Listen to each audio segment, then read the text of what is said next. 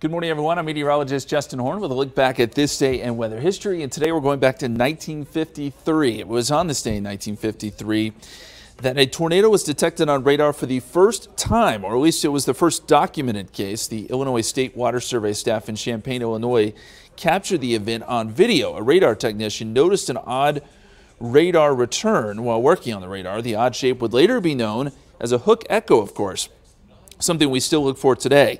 It was produced by a major tornadic storm just north of the radar, and it would forever change how radars are used. And that's what happened on this day in weather history.